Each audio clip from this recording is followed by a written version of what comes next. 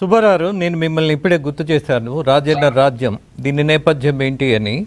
అలాగే మరో విషయాన్ని కూడా సూటిగా మరో ప్రశ్న ఉన్నది. ప్రెస్ మీట్లో సజ్జల రామకృష్ణారెడ్డి సజ్జల రామకృష్ణారెడ్డి గారు విధ్వంసం చేసినటువంటి వాళ్ళను సమర్థిస్తూ మాట్లాడారు. అలాగే ఆంధ్రప్రదేశ్ అభివృద్ధిలో అద్భుతమైన ఒక మార్పు చూసాం ఆ రోజు.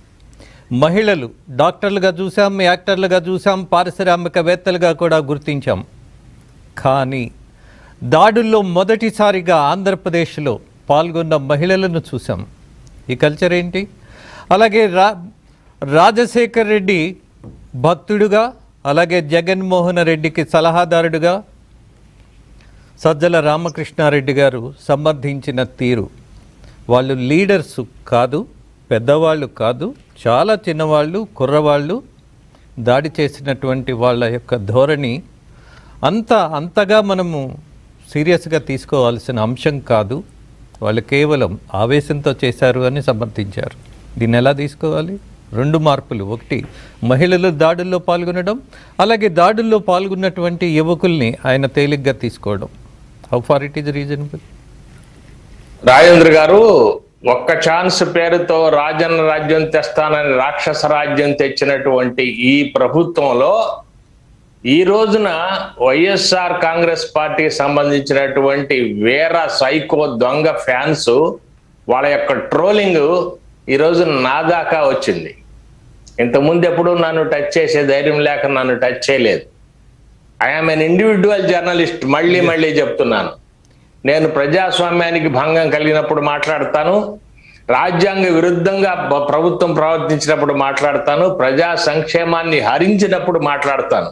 అవినీతి జరిగినప్పుడు మాట్లాడతాను. అది ఏదన్నా ఒక పార్టీకి అనుకూలంగా ఉంటే యాదృచ్ఛికమేగా నాకు సంబంధం లేదు.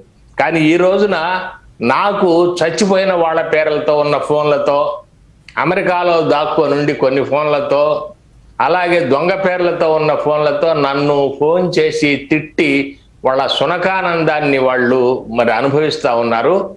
వాళ్ళకి నేను మేసం తిప్పి తొడగొట్టి సవాల్ చేసి చెప్తున్నానండి.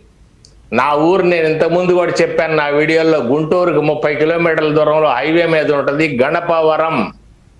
ఎవరైనా సరే నాతో మాట్లాడటానికి స- రెడీ డిబేట్కి రెడీ. కొట్టుకోవడానికి రెడీ బాంబులు వేసుకోవడానికి రెడీ కత్తులతో పొడుచుకోవడానికి కూడా రెడీ.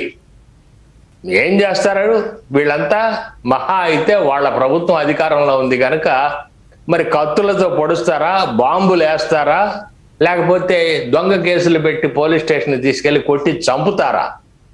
నాకు అరవై ఆరేళ్ళు. నేను ఇప్పటికి కూడా నా వృత్తిని నమ్ముకొని ఉన్నాను నేను నిజాయితీని నమ్ముకొని ఉన్నా.